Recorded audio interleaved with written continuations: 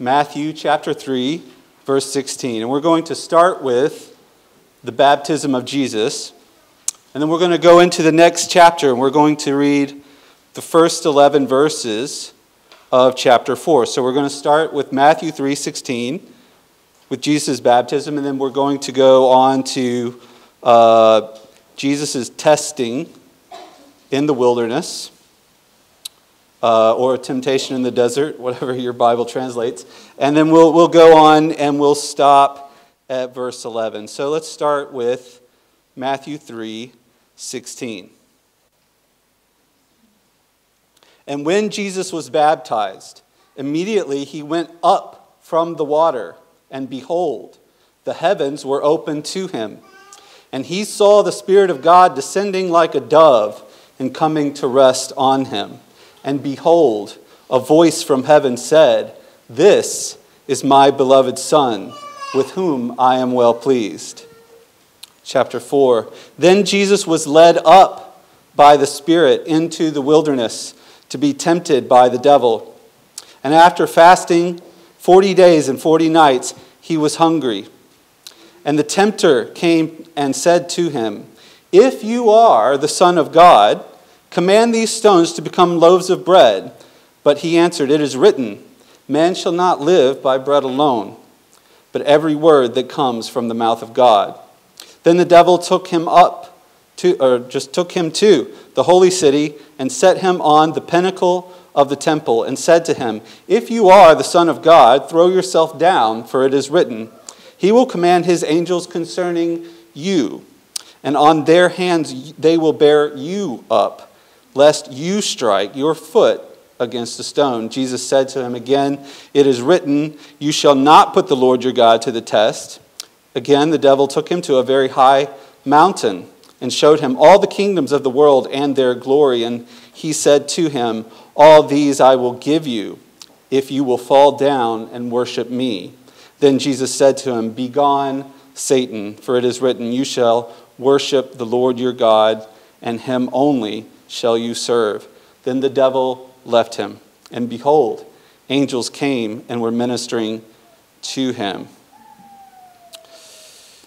I'll start out by saying that it is a great joy to be back here among you guys. Um, I've been thinking about you ever since I left. I've, uh, you probably don't know how many people in Alabama have seen your faces and uh, watched videos with you in them, um, but, but they have, and, and they've been thinking about you and even praying for you and about you as well.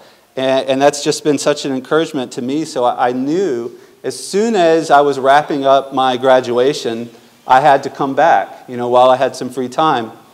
And as Ryan and I were making these plans, I remembered something that Ryan taught me while he was, um, you know, my, mentoring me uh, when I was here about nine months ago. And he said, you know, if you go to a place and do ministry there, you should know exactly why you're going, what you want to accomplish. And as I was thinking through this and I was, you know, on my way here, I, I kind of thought I knew what that was. I had, you know, kind of made a list and written it down and I'd put a lot of thought into it. But after I got here, after a couple of days, I actually started to question that. I, I remember I had received a lot of bad news one day, you know, most importantly, Patricia. And I was really excited to see her. And and as I went home that night, there was this voice in my head, much like perhaps the voice Jesus hears in the wilderness. And, and this voice was saying, What are you doing here? What are you doing here, Scott? Why did you come? And I just, it just, it was knocking me down to the ground. And I, I went to sleep that night without an answer. When I woke up the next day, I opened my Bible and I started reading from Romans as Paul writes to the Romans, on his way to where he's going, not India, but Spain.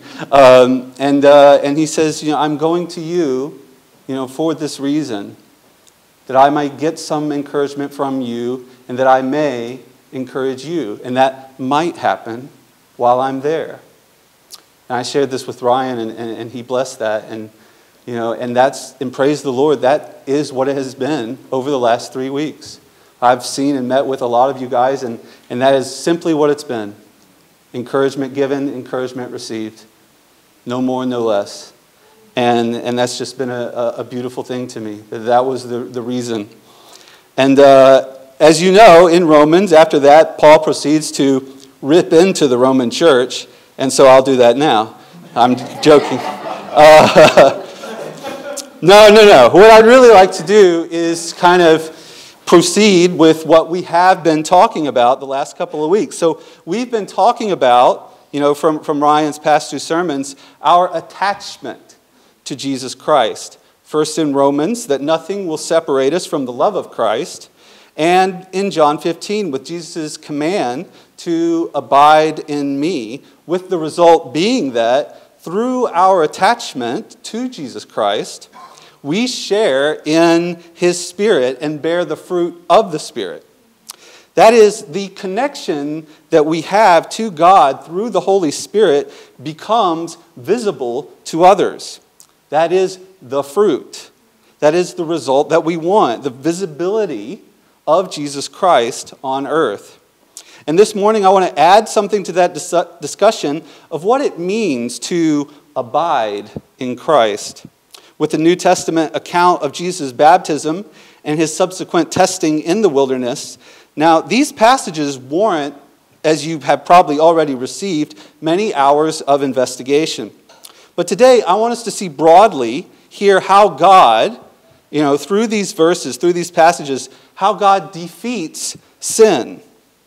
This is the sin that first separated God and human beings from each other. That is actually what sin is. Sin is separation from God. Whatever it is that God desires, whatever is not that, is sin. And if we miss this, if we think of sin, if we limit it to only our idea of disobedience to our idea of his written commands, we miss what God is showing us in these passages. And we are apt to limit our understanding of Jesus' time in the wilderness as a bit of good teaching on how Jesus avoided temptation and how you can too. But that's not what this is. This really singular account of baptism and testing um, shows us not how Jesus avoided sin and temptation, but how God utterly overcame and defeated sin and death. And though this subject requires, again, many more Sundays of teaching, this account also begins to let us in on why it had to be through Jesus Christ. You see, this account closely harmonizes with what we've been looking at the past couple of weeks because it's really about relationship and a specific kind of relationship. It's about the relationship that configures and qualifies all Christian relationships this being the relationship of the three persons of the triune God, which we see here at Jesus' baptism. You see, the opposite of sin is not obedience, not quite, it's togetherness. Obedience characterizes the relationship God desires with us as being with God in the way God designed. Seeking obedience for its own sake, you may have already found, usually results in seeking our own idea of obedience at the cost of relationships with God and with others. The Trinity revealed to us at Jesus' baptism communicates to us the relationship we have with God through Jesus Christ, and it also configures the relationships we have with others. This is the relationship that we have been talking about. Nothing can separate us, Paul says in Romans. Stay in me, and I will stay in you. Jesus teaches his disciples this, this depth of interconnectedness, what in classical doctrine, you know, you may have heard we call mutually indwelling. Jesus also teaches this as true of the relationship between him and his Father. And this message of restored relationship through Jesus Christ is revealed in Matthew 3 as a message presently visible as the loving operation of grace performed by the Trinity, in which God the Father communicates God the Son through God the Holy Spirit, proclaiming his identity, his judgment, and his purpose to those gathered as witnesses.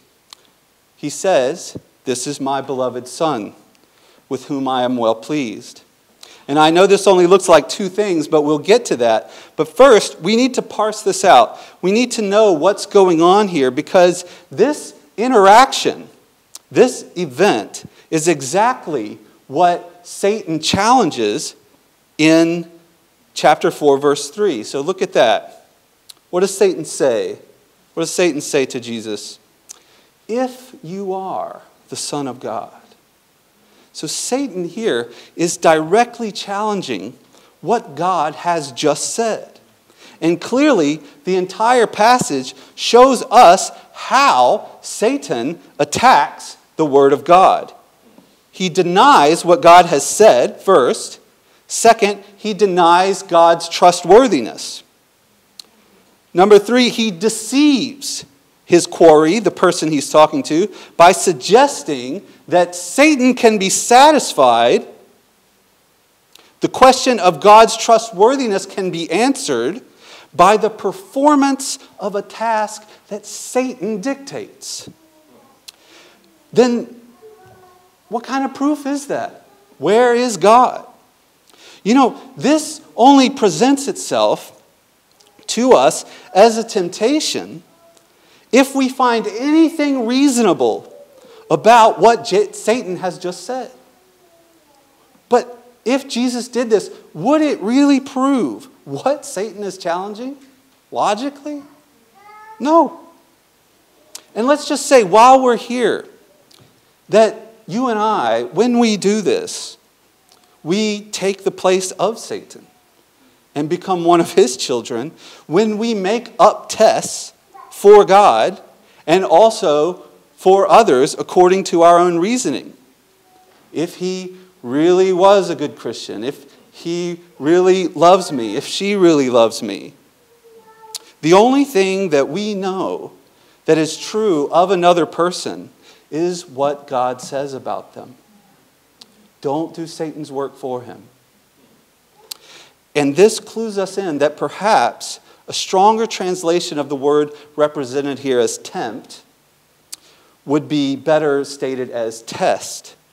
Something about Jesus is being tested, but what? And what kind of test is this? And tests can be good as long as the testing tool lines up specifically with what is being tested. You can't measure the temperature of the ocean with a ruler.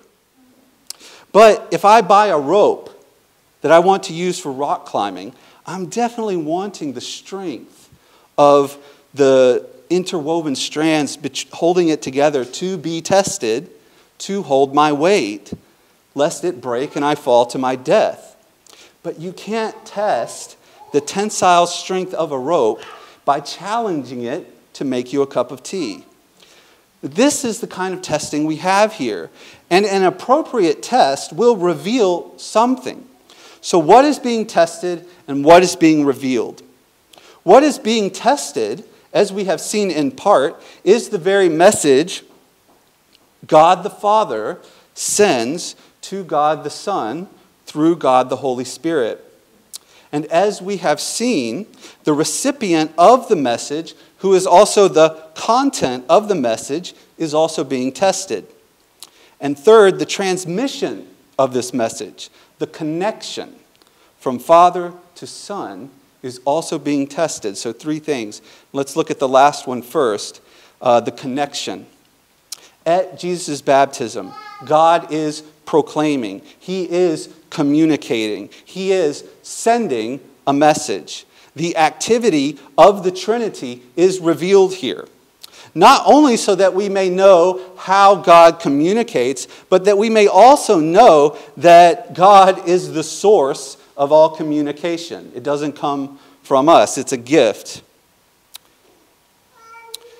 The loving activity of the Trinity is the source of all communication. And we can begin to understand the Trinity's activity as a loving operation of grace through the imprint of God on ourselves, the image of God on ourselves. We find in our capacity to participate in communication the design of God.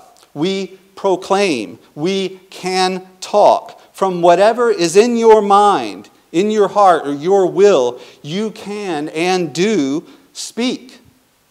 You send your word out via your breath. And this is what you do when you speak, when you communicate with others. Whatever is in your mind, according to your will, you exert.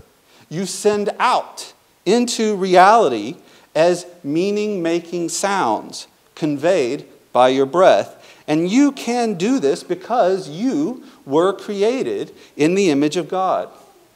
And like God, we send our words out into reality to change reality. But it was God who first formed all reality, all creation, through His Word.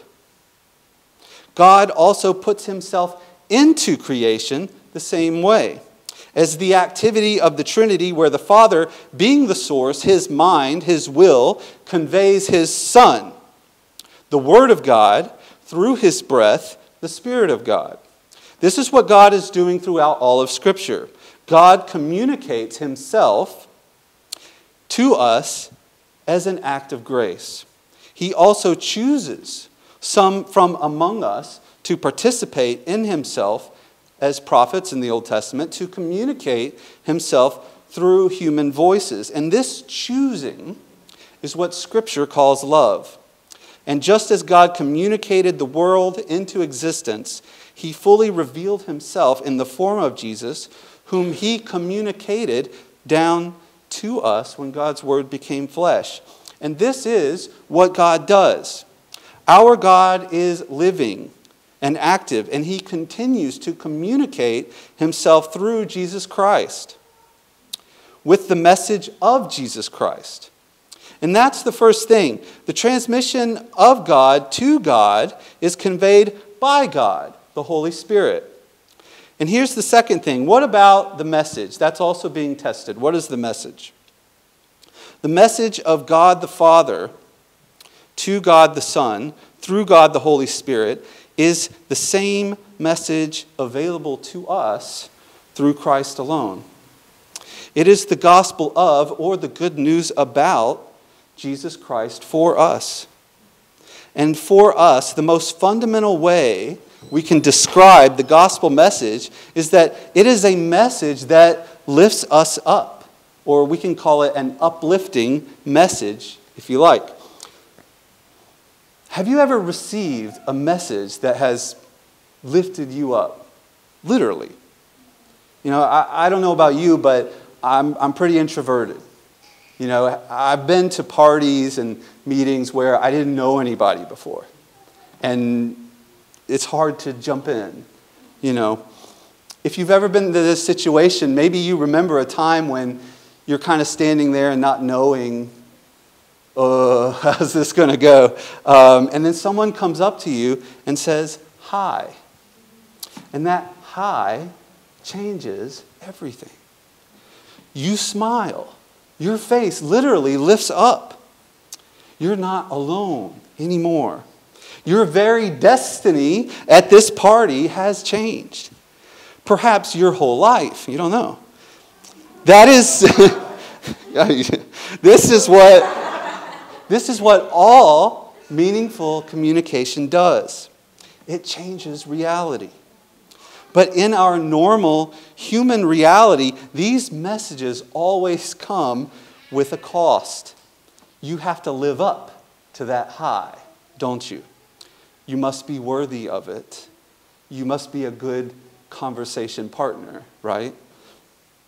But God's message is unique because the content of God's message does not oblige you to live up to it. Rather, its content lifts you up to its namesake, the gospel. And notice what the Father says to the Son. Look at this. This is my beloved Son. This is my Son. I love him.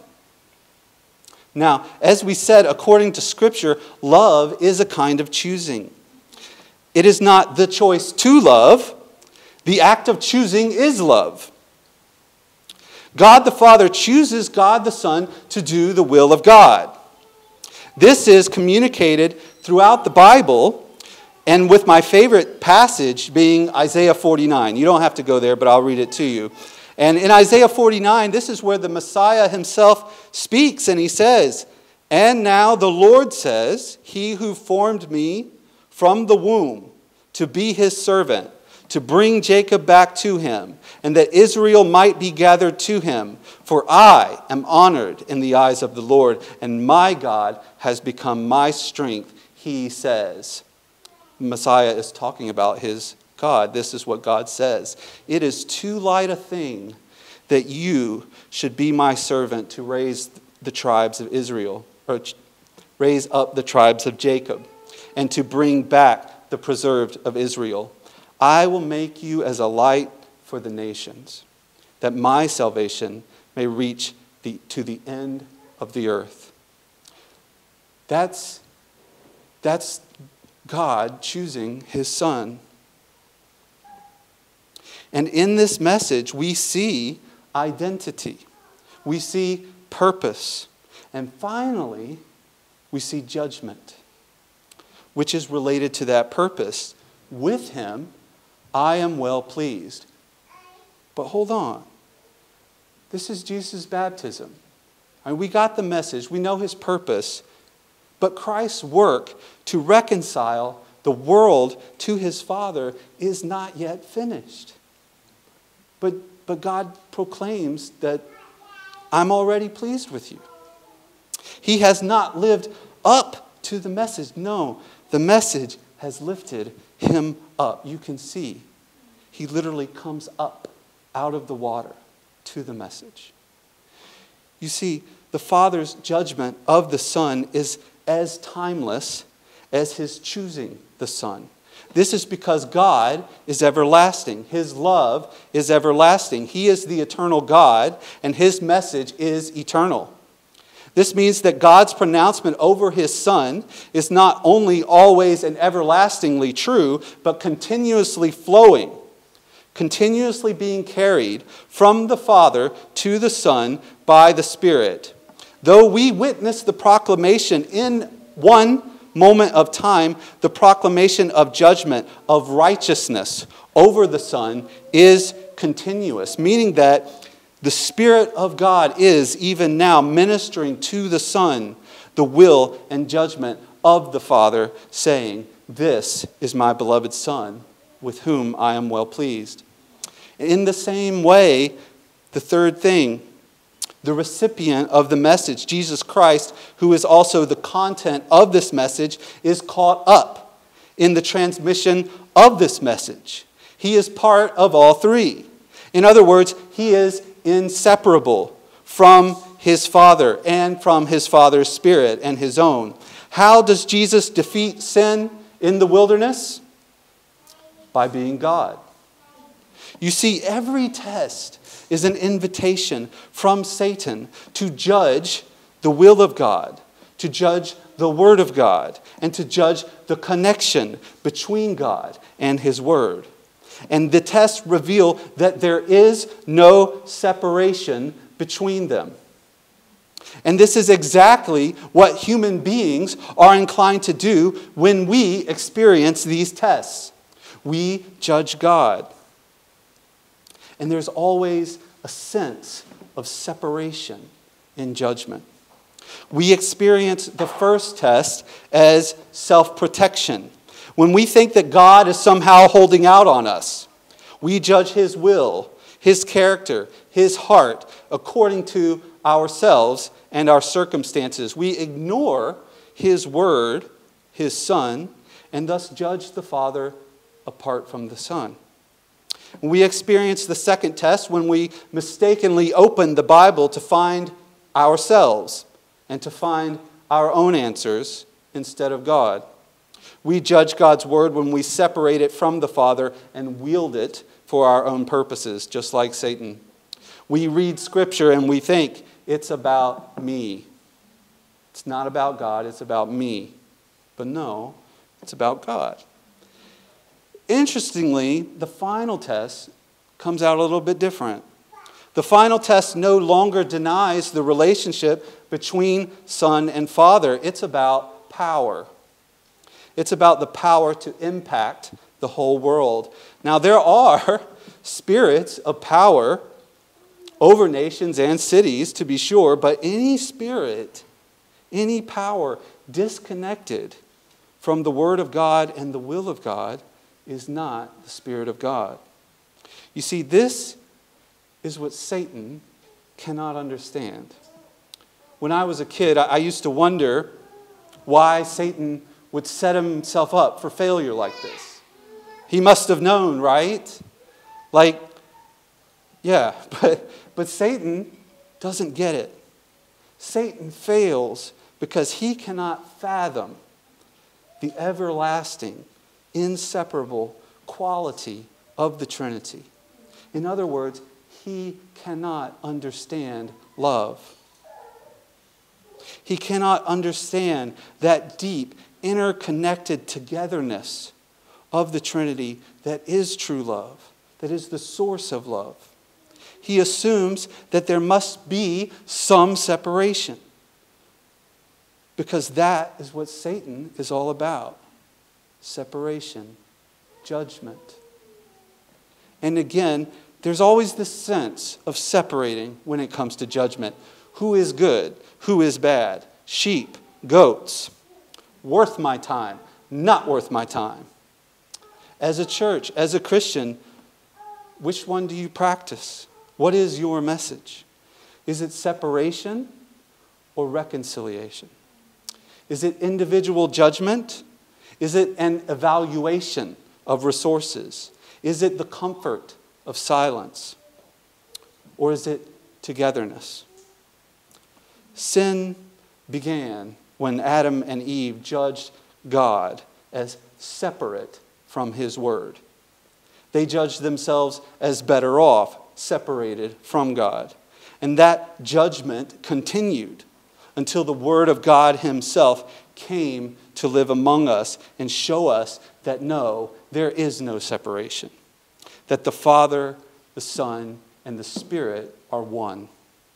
And when the high priest judged Jesus as a danger to the political balance, when the mob judged him as not quite the Messiah they wanted, and when Rome judged him as a necessary scapegoat for world peace under Roman power, they made their injustice complete when they executed him on the cross.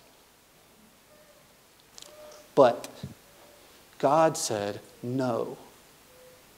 To all human judgment, God said no. To the judgment of self protection, the judgment of future prosperity, to the judgment of a better society, God said no. The message of God, the judgment of God, lifted Jesus Christ up out of the grave. This is my son.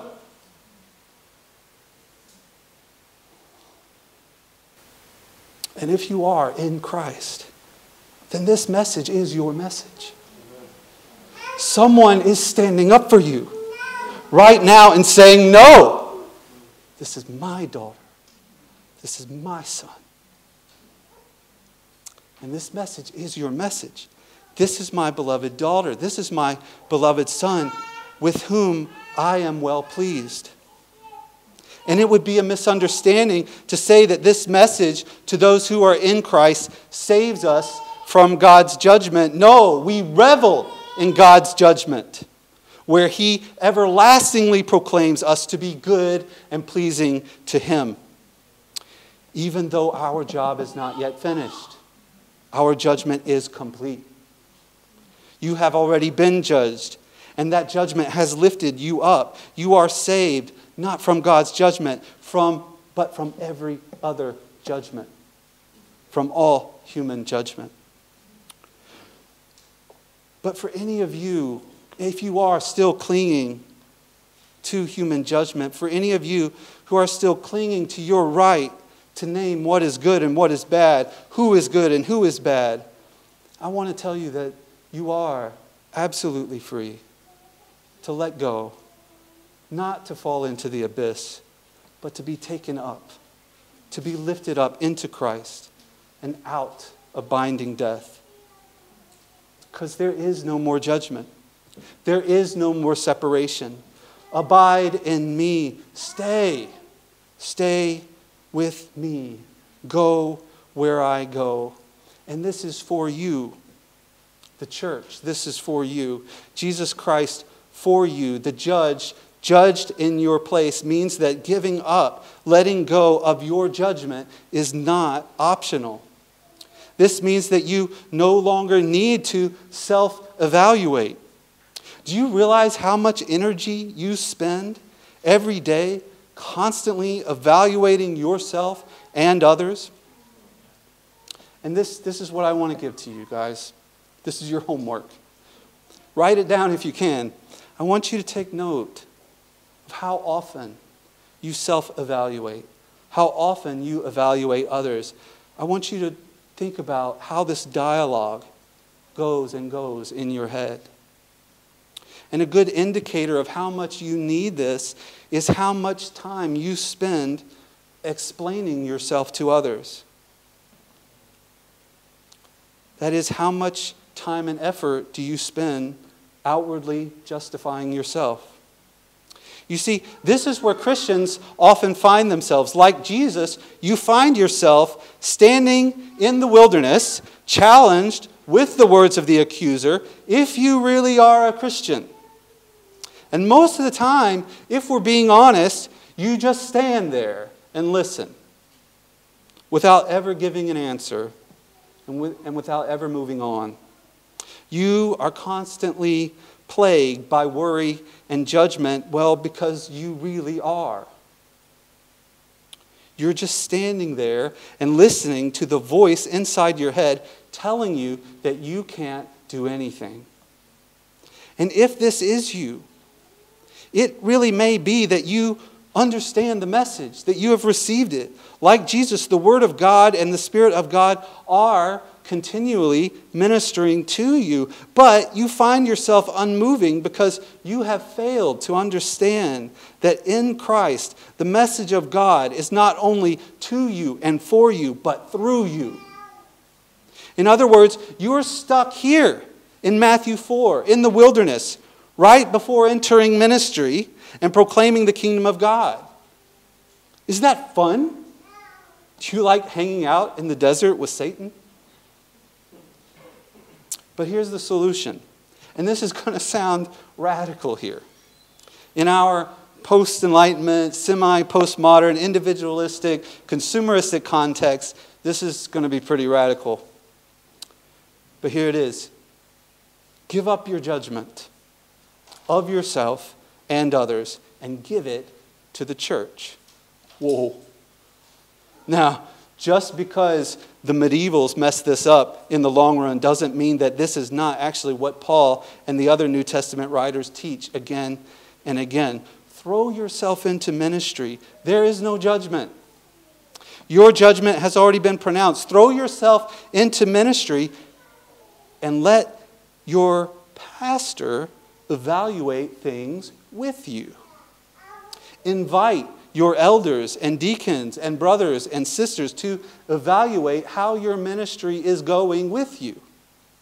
To show you in this new context, in this new life, how you can do this better.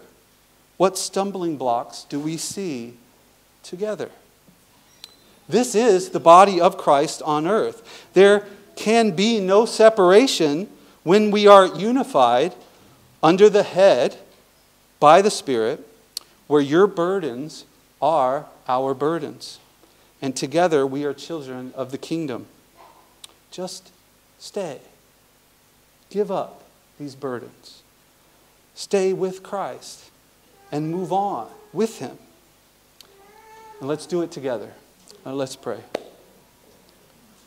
Father God, thank you for this message. Not my message, Lord. But I stand up in this every day, even though it's a struggle. And, and I pray, Lord, that we all do. Lord, that we receive this message, that we know that this message is for us, this message is to us, and this message is through us. Lord, I pray whatever holds us back, whatever burdens us and keeps us from new life in your word, in your message, Lord, that that would be revealed, dissolved, that we would finally be able to let go. Lord, let us know at every moment that you are with us, that you are speaking to us, that you are not silent, Lord, and we have voice so that the world may not ever know that you are. Lord, lift us up as you lifted up your Son. In Jesus' name I pray. Amen.